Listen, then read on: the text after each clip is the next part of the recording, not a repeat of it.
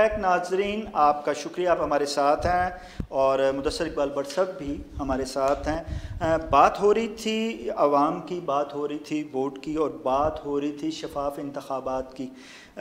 इस दफ़ा आवाम मुतमिन हैं कि कम से कम उनके वोट का जो है, वो फैसला आया है और एक पार्टी को जो है, जिस, जिसको उन्होंने वोट दिया, उसको अक्सरियत मिली है। ये अक्सरियत तो मिल गई, लेकिन क्या हकूमत भी जो है, वो आवाम के फ़ैसलों के साथ ही तब्दील होंगी?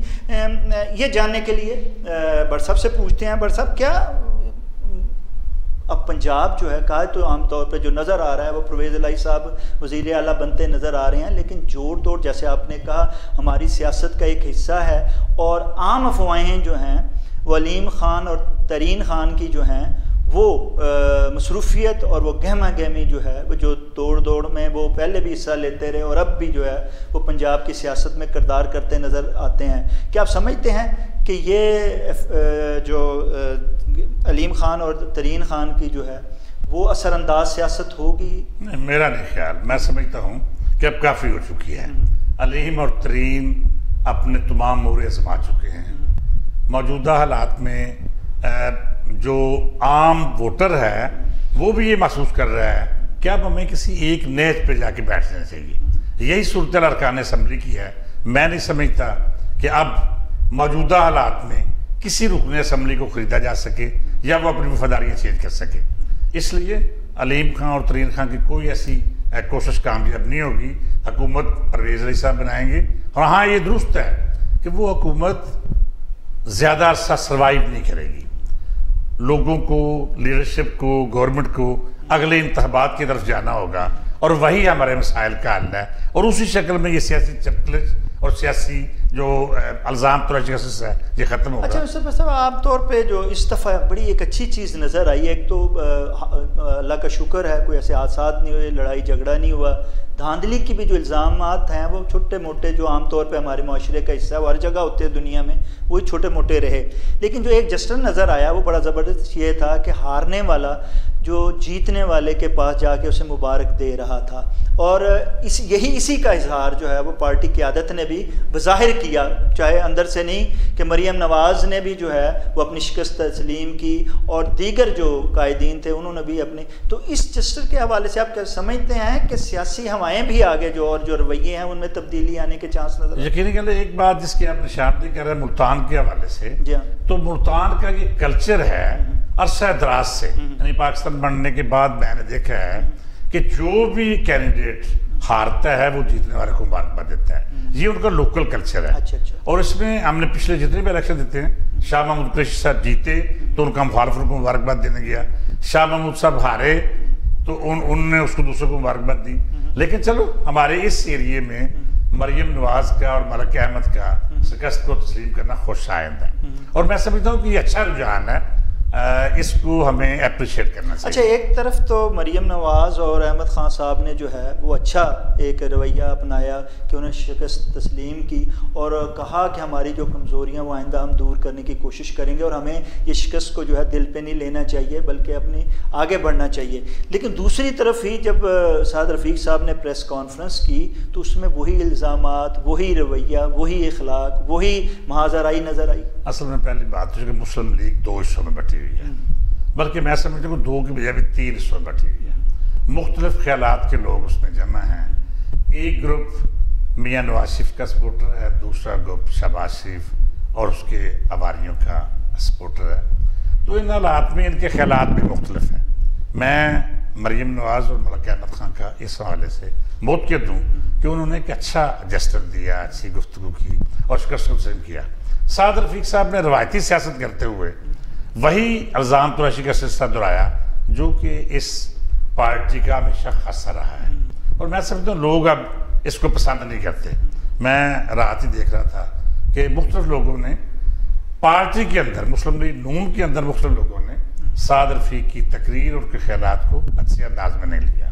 लिहाजा हमें मुआशरती सुलझाव के लिए इस बात की ज़रूरत है कि हमें बेहतर कल्चर और बेहतर रवैये अपनाने होंगे। अच्छा भी हम आगे बढ़ सकते हैं। हाँ जब रवैयों की बात होती है तो आमतौर पे कहा यह जा रहा है कि जैसे रवैयों में तब्दीली आई है तो सियासी हवाले से बड़ी जो क्यादत है उसको भी जो है वो आगे एक कदम बढ़ के जो है वो जब वो देख रहे हैं कि इलेक्शन हर शख्स कह रहा है कि जनरल इलेक्शन इस मसाइल का हल है सियासी इसकाम का हल है, हर चीज़ का हल है तो क्या आप समझते नहीं हैं कि हमजा शबाब बजाय बाईस का इंतज़ार किया जाए, या उसके बाद वफाक इंतज़ार करे, मियाँ शबाज शरीफ और हमजा शरीफ को जो है, वो इस्तीफ़ा दे देना चाहिए और उसके यहाँ आगे जो है, इस्तीफ़ा देते हुए जनरल इलेक्शन का ऐलान करना चाहिए। मेरा ख्याल तो ये है कि जब रात को रिज़ल्ट की सूरत वाजी हुई तो सियासी रवादारी का मुजाहरा करते हुए फौरी तौर पर वफाकी गवर्नमेंट को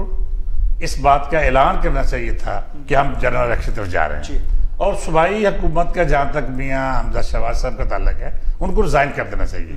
लेकिन बदकिस्मती है कि हमारे कल्चर में हमारे मुआरे में ये सियासी रवादारी ख़त्म होती जा रही है। और इन लोगों के पास कोई ऐसा जवाज़ नहीं है जिसको जवाज़ बना के ये इकतार से चिमटे रहें। लेकिन क्या किया जाए कि हम इकतदार से उस रखते हैं जब हमें डंडों और घोंसों से आप समझते हैं कि वही है जो आपने कहा डंडों और घोंसों की बात आएगी कि अगर पंजाब में परवेज वलाई की हुकूमत कायम हो जाती है जो कि नज़र आ रही है कि होगी तो उसके बाद क्या जो वफाक है उस वक्त तक नहीं हिलेंगी वह हुकूमत जब तक कि एक बार फिर जो है तहरीक इंसाफ की क्यादत जो है वो मार्च का ऐलान नहीं करते और जाकर वो इस्लामाबाद नहीं बैठेंगे। शाह साहब अगर पंजाब में बाईस को हुकूमत बन जाती है परवेज वलाई की तो उसके बाद मरकज़ की हुकूमत तो डमी हुकूमत रह जाएगी। वो सिर्फ़ इस्लामाबाद की हुकूमत होगी। किसी सूबे में उनकी हुकूमत नहीं होगी। लिहाजा बड़ा मुश्किल होगा उसको सर्वाइव करना। लिहाजा मेरा तो ख्याल है कि उसमें मुस्लिम लीग नून में बहुत समझदार और सियाने लोग हैं। उनको फैसला फौरी करना होगा।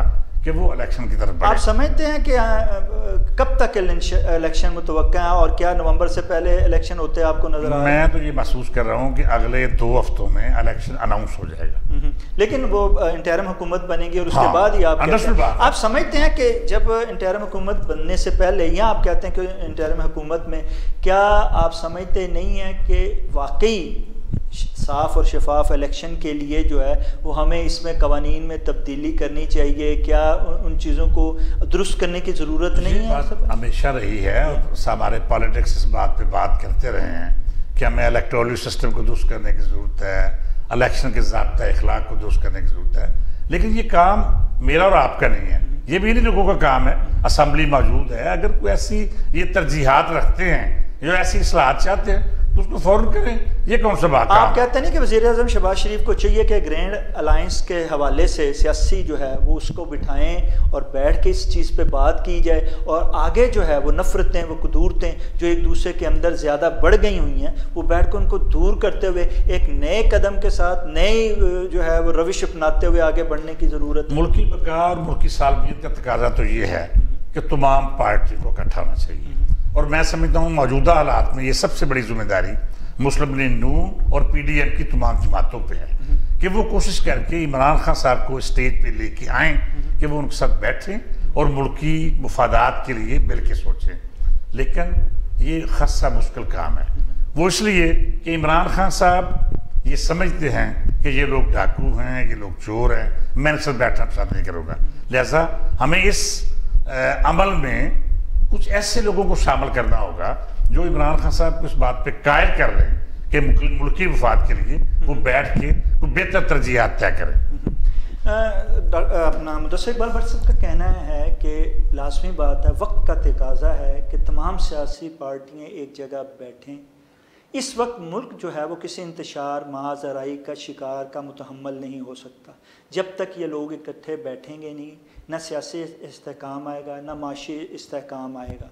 और माशी, माशरती और सियासी इसकाम लाने के लिए इन्हें आज नहीं तो कल एक न एक दिन जो है वो इकट्ठे बैठना पड़ेगा। उनके ख्याल का ये सिलसिला जारी रहेगा, लेकिन नाजरीन, प्रोग्राम में एक वक्फे का वक्त हुआ चाहता है। आते हैं, एक छोटी सी ब्रेक के बाद आप हमारे साथ रहिएगा। Thank you.